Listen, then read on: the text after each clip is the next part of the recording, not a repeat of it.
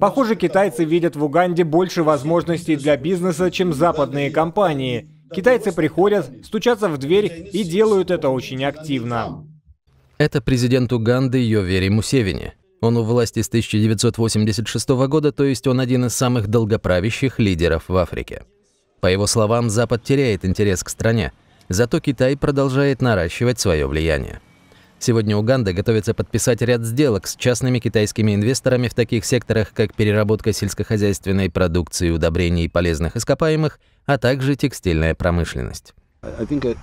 Пока Китай поощряет свои частные компании, западные правительства читают нам лекции. Но что за безумие читать мне лекции? Что нового вы можете мне сказать? И в этом и заключается разрыв между нами.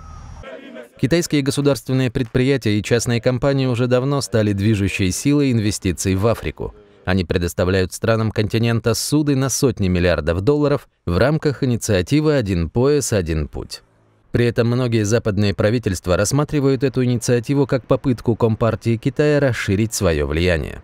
В обмен на деньги Китай часто требует от стран поддерживать свой политический курс.